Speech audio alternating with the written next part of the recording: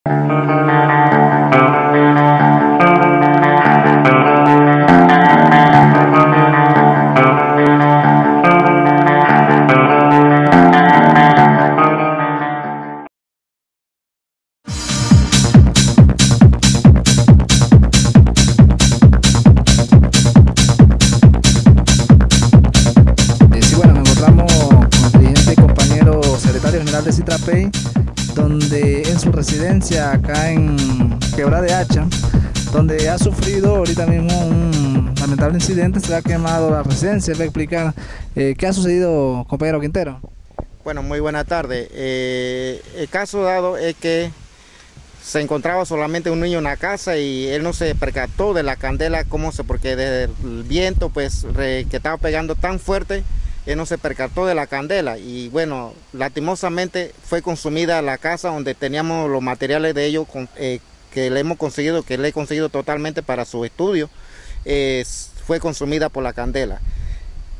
Eh, lo otro es que lo que me urge más aquí es los materiales de ellos para poder que ellos no falten en la escuela. Pues ya yo sé que lo demás se puede lo- es lograr poco a poco, pero lo que me urge más aquí es el- los materiales que sean como zapatos, bueno, todo lo que es instrumento de- de- de- del estudio. Es lo que me, me urge más.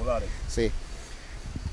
Este, alimento y algo que urgen ahorita Bueno, mismo. casualmente también en esa eh, circunstancia también nosotros requerimos, porque y eso es que tenemos por ahí las otras casas, que es la madre de madera, lo tenemos ahí, pero eh, tenemos un alimento, pero no, aquí también tenemos alimento, pero bueno, eso fue totalmente consumido, así que requeremos algún aporte solidario de, los demás compañeros, pues, que nos haga llegar un aporte de alimentación, que casualmente que es lo que requeremos también en el momento.